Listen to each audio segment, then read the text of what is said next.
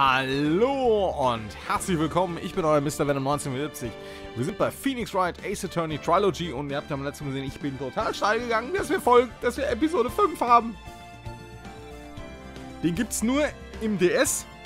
Den gab's also im Original GBA-Teil logischerweise nicht, weil er eben auch so DS-Features hat wie mit Stylus und Pusten und hast du nicht gesehen. Deswegen bin ich mal gespannt, wie sie das hier umgesetzt haben. Äh, und die Internet-People, ich habe es tatsächlich nochmal durchgelesen, auch so Leute auf Reddit, die haben sich beschwert, dass es das Ding, diese, den Fall nicht gab. Jetzt an euch die Frage, wurde der irgendwie nachgepatcht? War der ursprünglich tatsächlich nicht drin? Weil ursprünglich, das kann ich euch sagen, das weiß ich, gab es auch keine deutsche Fassung. Das kam erst mit irgendeinem Update. Ewig lange. Ich glaube, drei oder vier Monate. Und dann gab es irgendwann die Sprachversion Deutsch beziehungsweise Deutsch-Französisch. Ich glaube, es gibt das Ding mittlerweile immer noch nicht in Italienisch und Spanisch, wobei es die DS-Version dazu gibt. Capcom halt. Ähm, aber.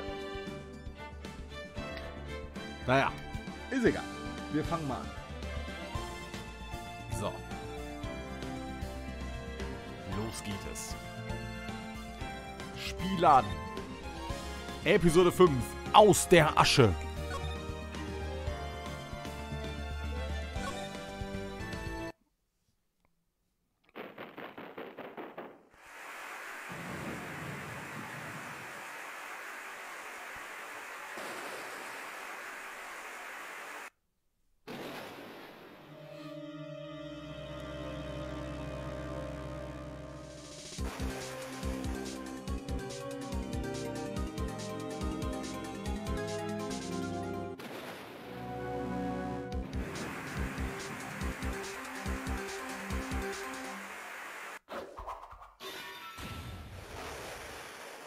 Ich glaube, das ist die Vase, die wir reparieren müssen. Spoiler. Das weiß ich nicht. Da kann ich mich noch erinnern. Ich fand das Rätsel nämlich scheiße.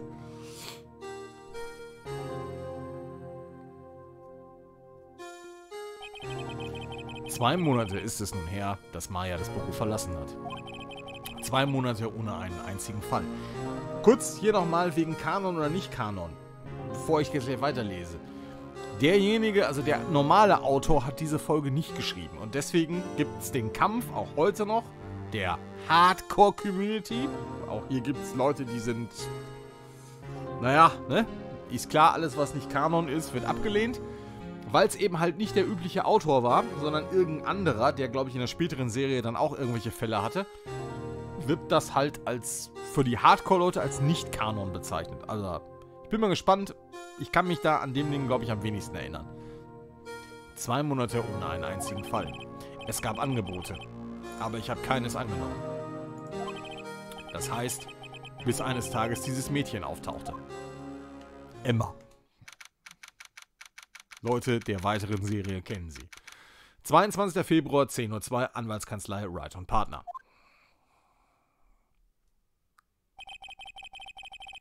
Warum muss ich jeden Tag ins Büro kommen? Es ist ja nicht so, als ob ich arbeiten will. Da sind Sie ja endlich. Wo waren Sie? Die Verhandlung meiner Schwester ist morgen.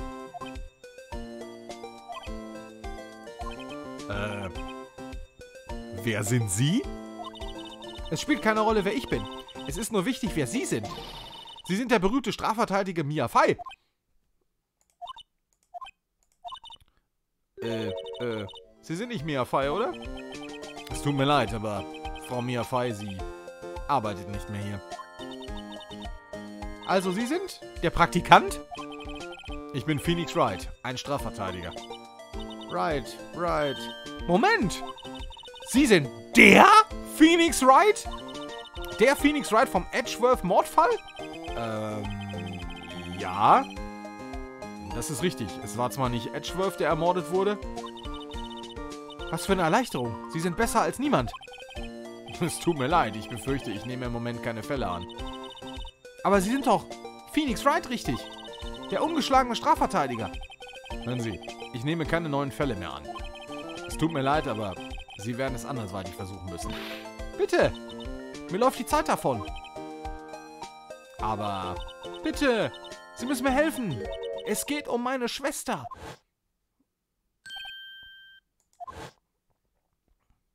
Nostalgie-Flashback. Maya, könnte es sein? Na gut. Ich höre Ihnen zu. Wirklich? Vielen Dank. Ich heiße Emma. Emma Sky. Ich bin wissenschaftliche Ermittlerin.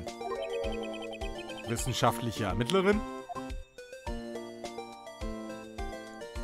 Auf geht's.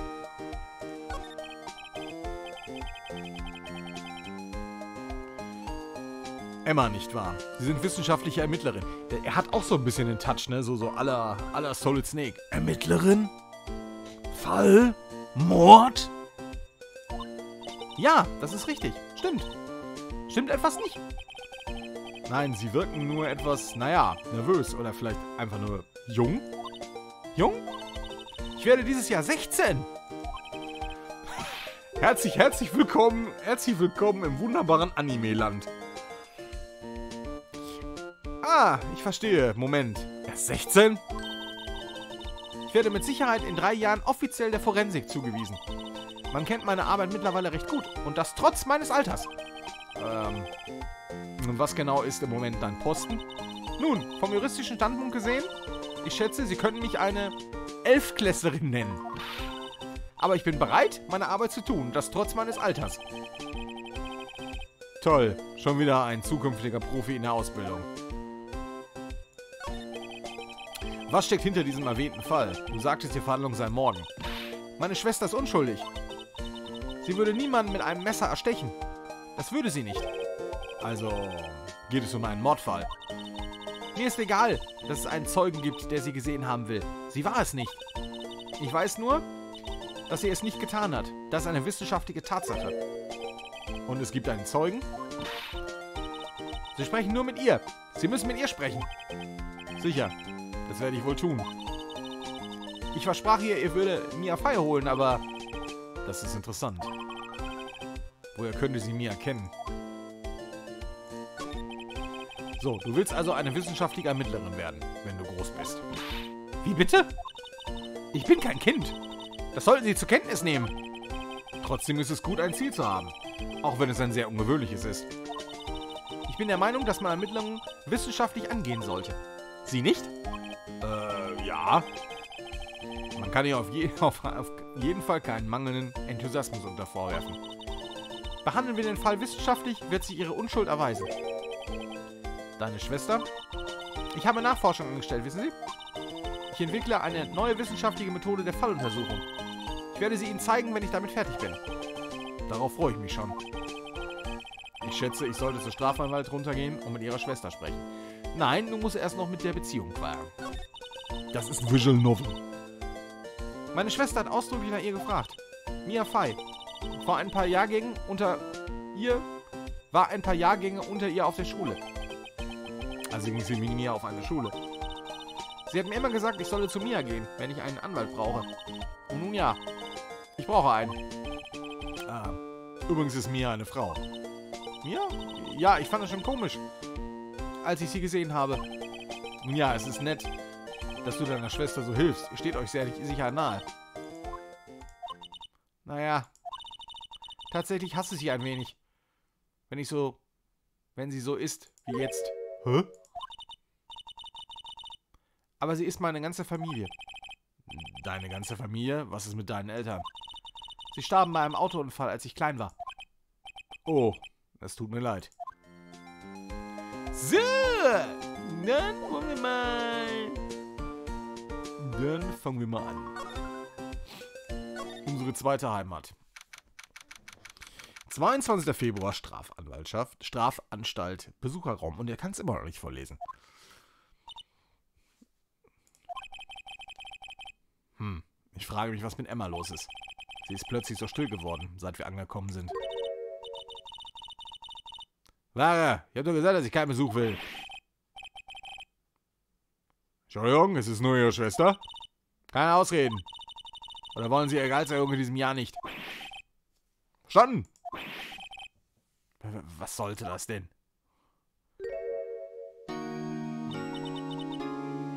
Hallo Lana. Komisch. Ich erinnere mich daran, dich explizit angewiesen haben, nicht herzukommen. Vielleicht trügt meine Erinnerung. Nein, hör mir zu. Ich wollte gar nicht herkommen, okay? Aber deine Verhandlung ist morgen und du hast immer noch keinen Strafverteidiger. Ich stehe morgen vor Gericht. Das hat nichts mit dir zu tun, Emma. Nicht wahr, Herr Wright? Hey, woher kennen Sie mich? Mir hat sie erwähnt. Ich habe so einiges erfahren. Äh, Entschuldigung, aber was genau haben Sie? Mein Name ist Lana Sky. Ich bin die Generalstaatsanwältin des dieses Bezirks. Sie sind die Staatsanwältin? Zwei Schwestern, eine davon Anwältin. Könnte das ein Zufall sein? Emma, Lana. Ich meine, die sind genau wie...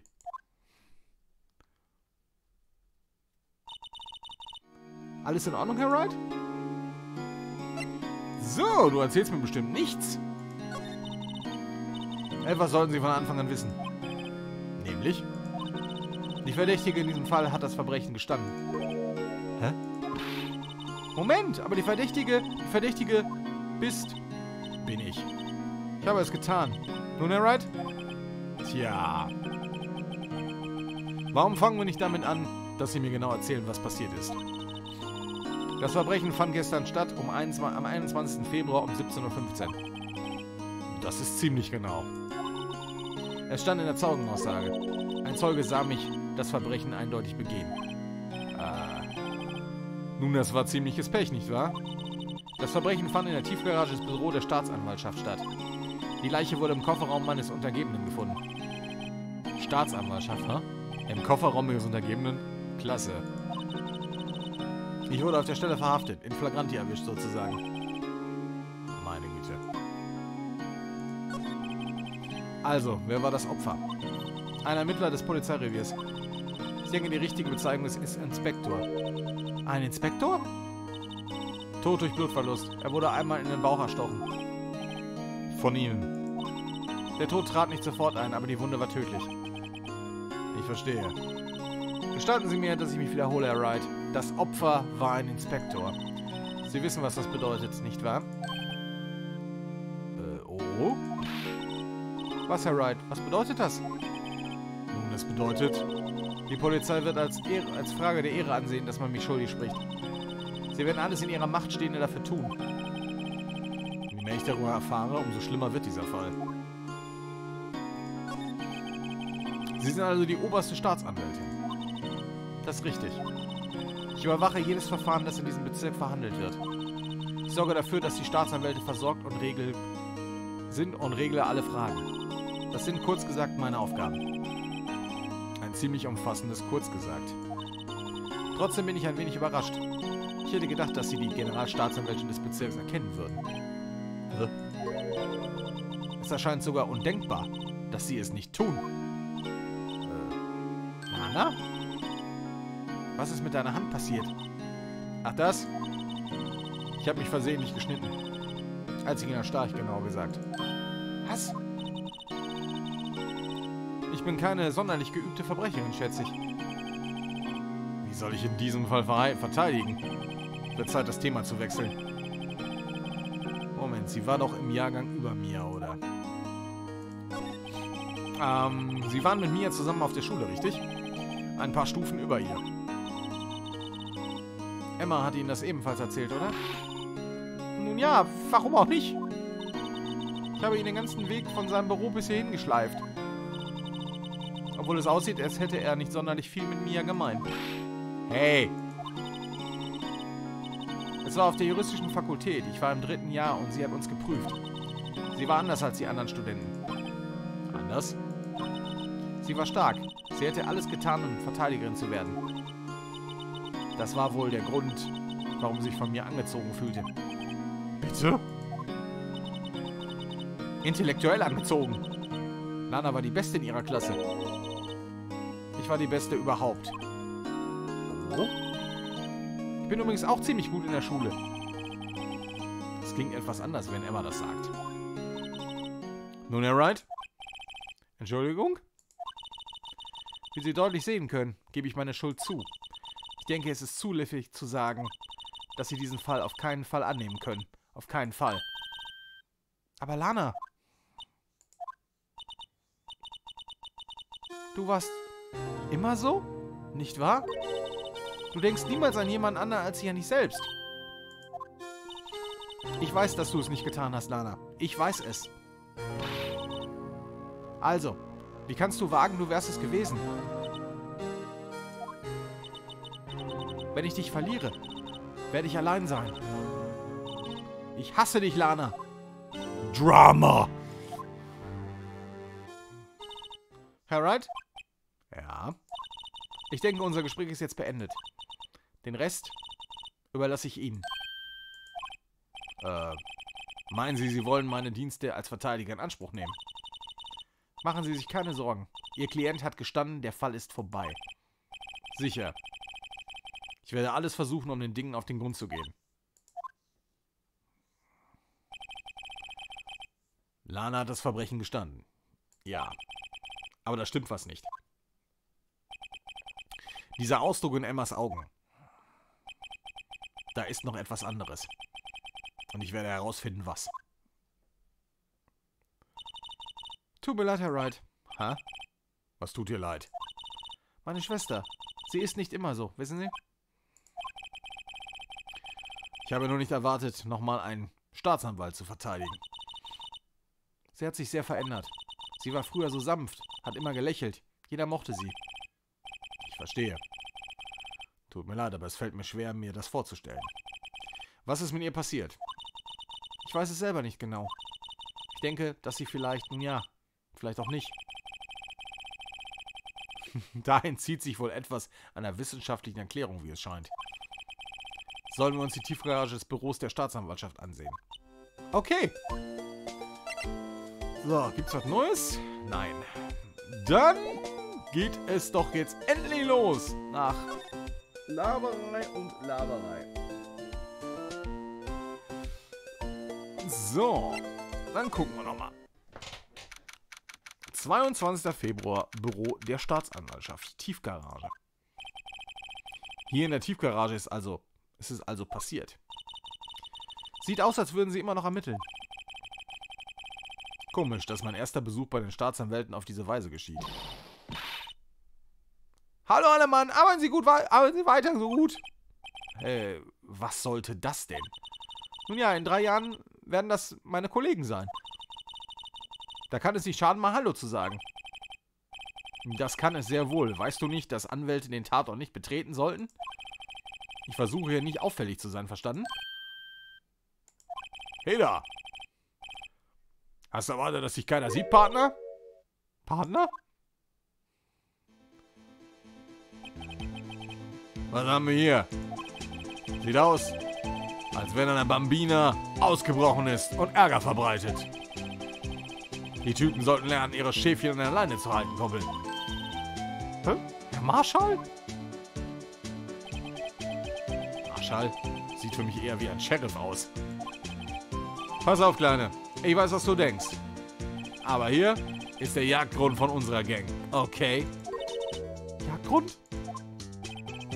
Unser Claim, unser Gebiet. Die Goldmine sind, die Goldmine sind Beweise.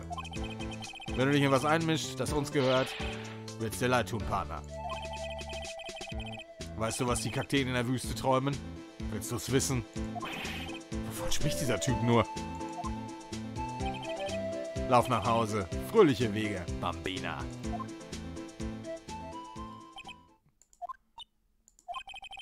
War dieser, äh, Ombre ein Freund von dir? Äh, so etwas ähnliches, ja.